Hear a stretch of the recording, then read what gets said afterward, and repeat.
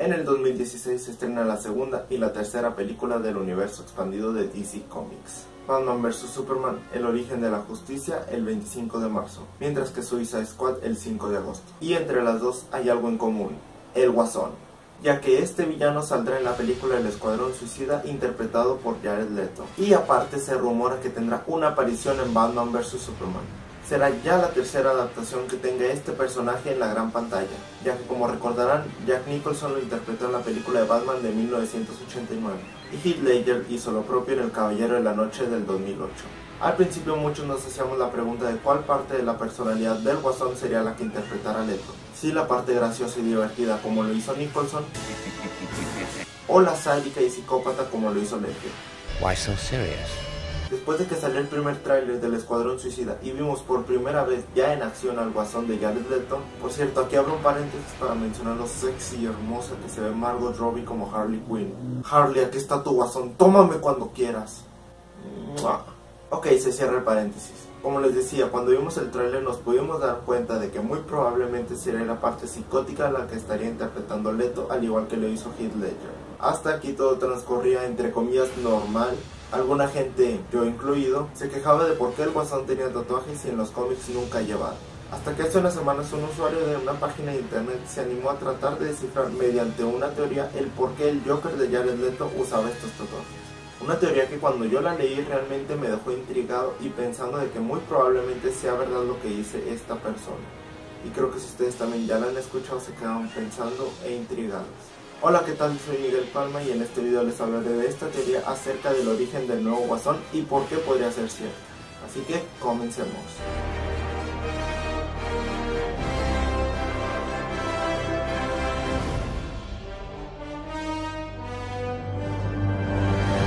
Esta teoría comienza formulando la siguiente pregunta. ¿Y qué si el Joker de Jared Leto no es el verdadero Joker? Así es, una pregunta demasiado confusa ya que si este no es el verdadero Guasón, entonces ¿quién es?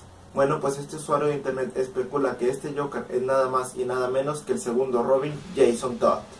Una suposición descabellada pero un tanto probable. Para los que no sepan les contaré un poco acerca de la historia de Jason Todd. Este personaje apareció por primera vez en 1983 y su primer encuentro con Batman fue cuando Bruce realizó su visita anual al callejón del crimen y cuando va de regreso a casa encuentra a Jason robando las llantas del batimóvil. Batman en vez de enojarse decide adoptarlo y entrenarlo para convertirlo en el nuevo Robin ya que Dick Grayson lo había dejado para convertirse en Nightwing.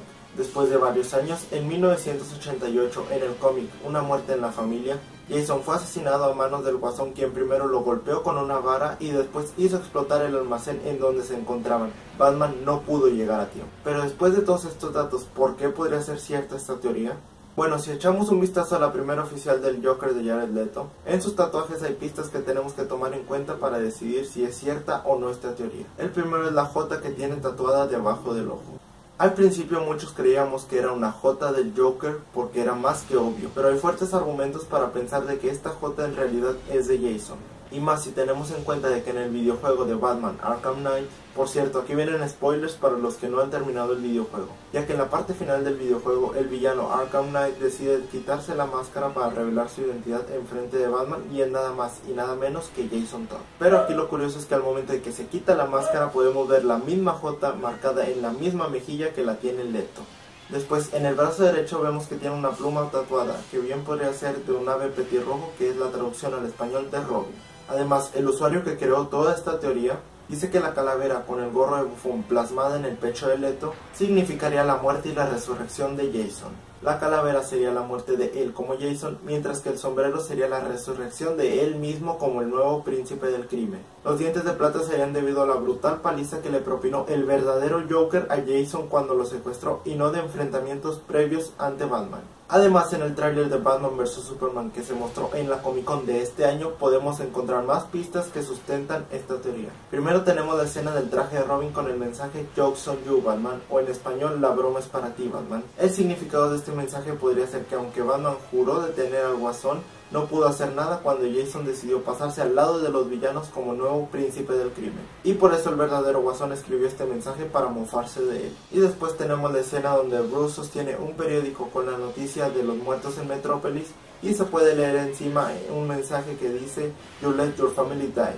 O en español, dejaste morir a tu familia. Este mensaje está escrito con letra diferente a la que vea en el traje y esto podría significar que el autor de este sería Jason y no el verdadero Guasón. Además así se explicaría cómo el Joker conoce la identidad secreta de Batman. Al final hay una frase de Bruce que dice, 20 años en Gótica, ¿cuántas personas buenas quedan? ¿Cuántas más lo siguen siendo? ¿Qué podría significar esa traición de Jason hacia él? Además, esta frase me hace recordar aquella que dijo Harvey Dent en El Caballero de la Noche. Mueres siendo un héroe o vives lo suficiente para convertirte en un villano. Y esto fue lo que le pudo haber pasado a Jason, ya que no murió aquel día que fue secuestrado por el verdadero Guasón y debido a esto decidió convertirse en un villano. En conclusión, esta teoría podría ser cierta, pero a la vez nos despierta diversas dudas acerca de esto, ya que si Jason es el nuevo Guasón, ¿qué pasó con el anterior? ¿Está vivo? ¿Está muerto? Está retirado, ¿qué pasó con él? Sin duda alguna, todas estas dudas se despejarán cuando se estrene tanto Batman vs Superman como Suicide Squad, y así darnos cuenta si esta descabellada teoría de este usuario en internet resulta ser cierta o no. Bueno, hasta aquí con el video del día de hoy, espero que les haya gustado, dejen acá abajo en los comentarios ustedes qué piensan acerca de esta teoría, creen que pueda ser cierta o no. Además también dejen en los comentarios a ustedes qué otro video especial les gustaría que hiciera, ya sea del universo de Marvel o del universo de DC Comics. Denle manita arriba si les gustó el video, suscríbanse al canal para que este siga creciendo y les lleguen los videos calientitos, recién salidos del horno. Un saludo a mis grandes amigos Carlos y Rogelio Arroyo, Arturo Salcido, Miguel Medina, Carlos González, Iram Luna, Gerson Ibáñez y Mario Bravo Barrón. Nos vemos en la próxima ocasión, que la fuerza los acompañe en esta vida larga y próspera.